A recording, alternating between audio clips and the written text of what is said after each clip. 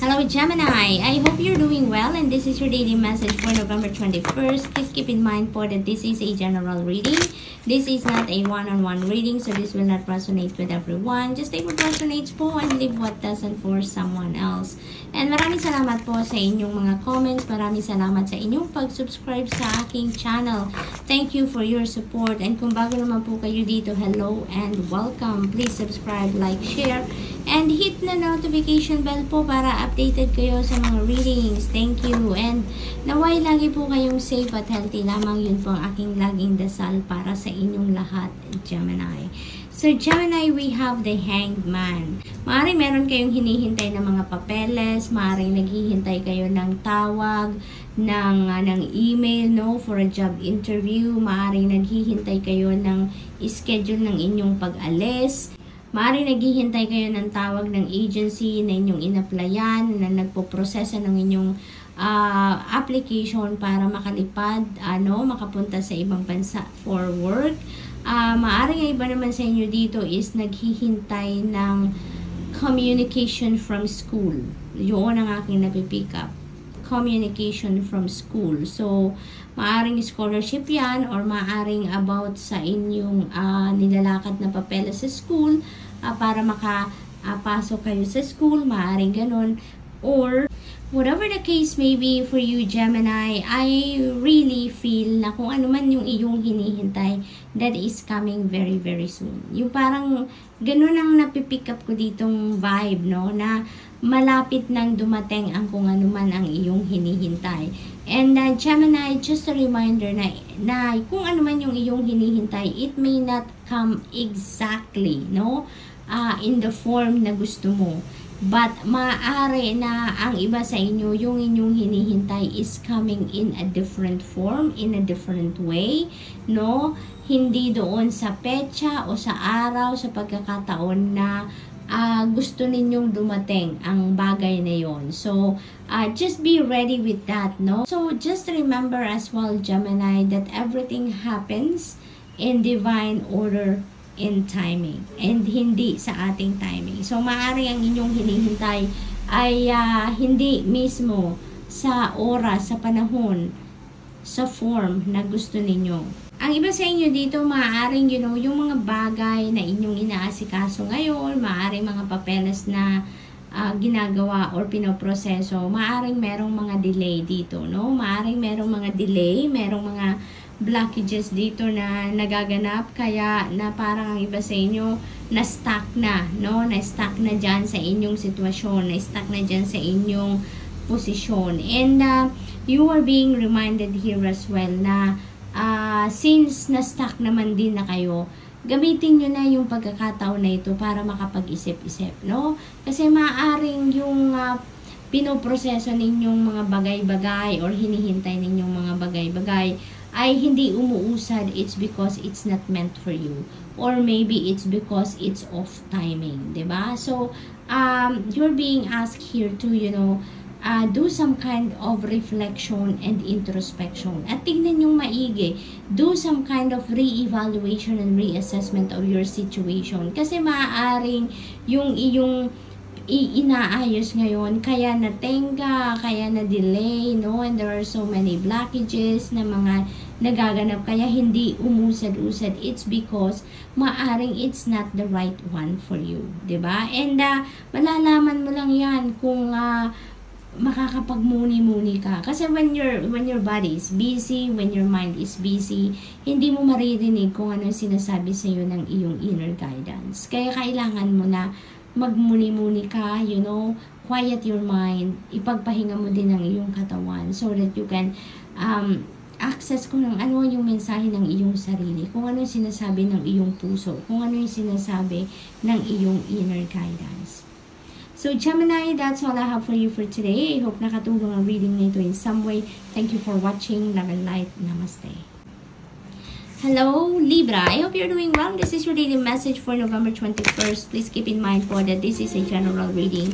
This is not a one-on-one -on -one reading, so this will not resonate with everyone. Just take what resonates po and leave what doesn't for someone else. And maraming salamat po sa inyong mga comments. Maraming salamat sa inyong pag-subscribe sa aking channel. Kung bago naman po kayo dito, hello and welcome. subscribe, like, share, and hit the notification bell po para updated kayo sa mga readings. And uh, naway lagi po kayong safe at healthy lamang. Yun po ang aking laging dasal para sa inyong lahat. Libra. And yung message ninyo for today is the Four of Cups.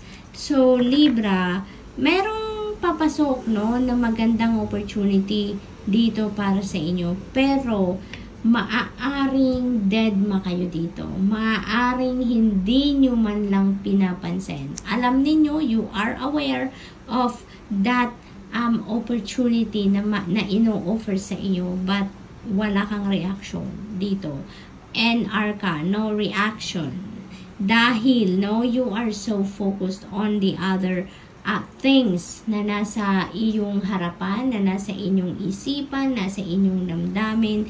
No, maaring meron din ditong naganap na uh, dissatisfaction or maaring meron ditong bagay na ikinalungkot mo. Maaring mayroon kang ini-expect and it didn't happen. And you are still so focused on that. Parang nagmumuni-muni ka pa rin. Iniisip mo pa rin ang bakit nga ba bakit nga ba hindi napunta sa akin yun? Ba, ah, bakit nga ba ganun na nangyari? Yung parang ganun. So, uh, but whatever uh, this Four of Cups no represents for you na nakapagpapalungkot sa iyo. I really feel na the more you dwell on that, the more you focus on that, mas lalo ka lang malulungkot, mas lalo lang mawawalan ka ng gana, mas lalo lang na mabubore ka, ba?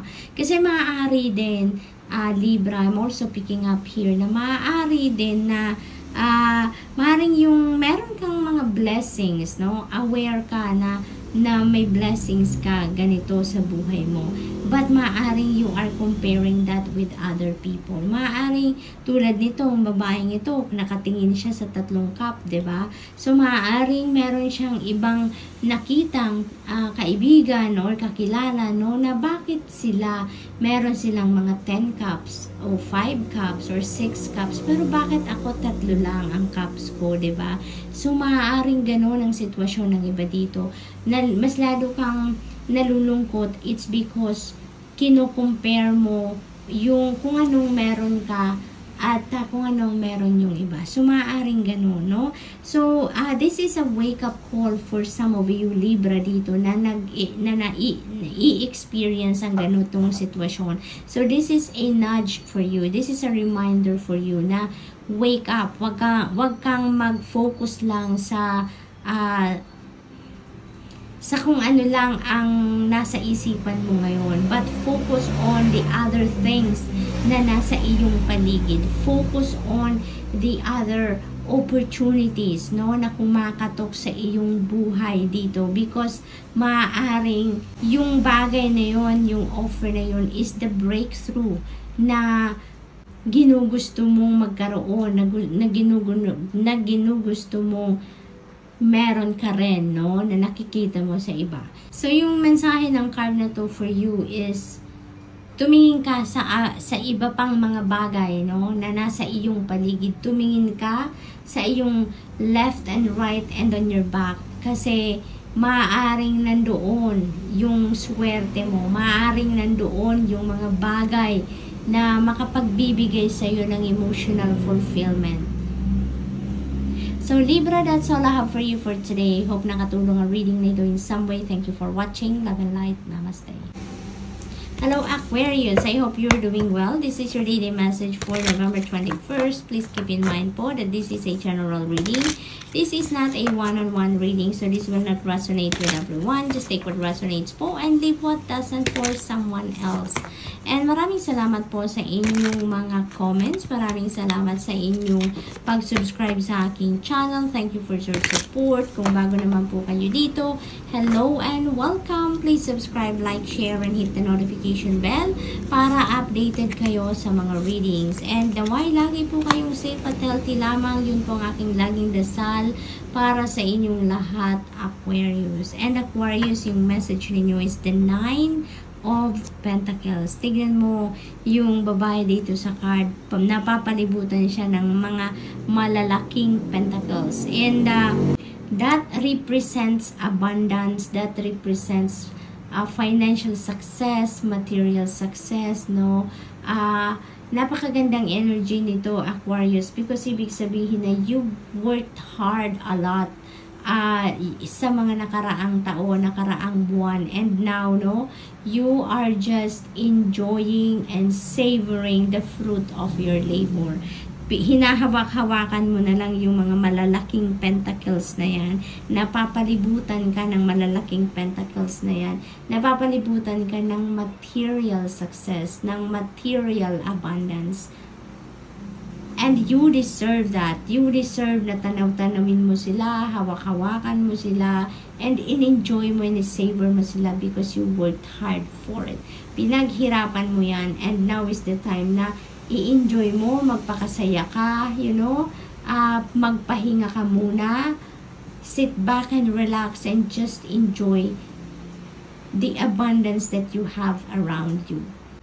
Ang iba sa inyo, you know, maaaring ito na yung uh, punto na nakapag-ipon ka na ng enough money para makapag uh, patayo ka ng sarili mong bahay, makapag uh, patayo ka ng sarili mong negosyo or you know, makapagbili ka na ng sarili mong sasakyan, makapag uh, ipon ka, makapagtabi ka ng pera for your retirement. So, maaring ganun ngayon ang sitwasyon ng karamihan sa inyo Aquarius. So, this is really, really beautiful. This is abundance coming into you. This is material success, no? Na parating sa iyo, Aquarius. So Aquarius, that's all I have for you for today. I hope nakatulong ang reading na ito in some way. Thank you for watching. Love and light. Namaste.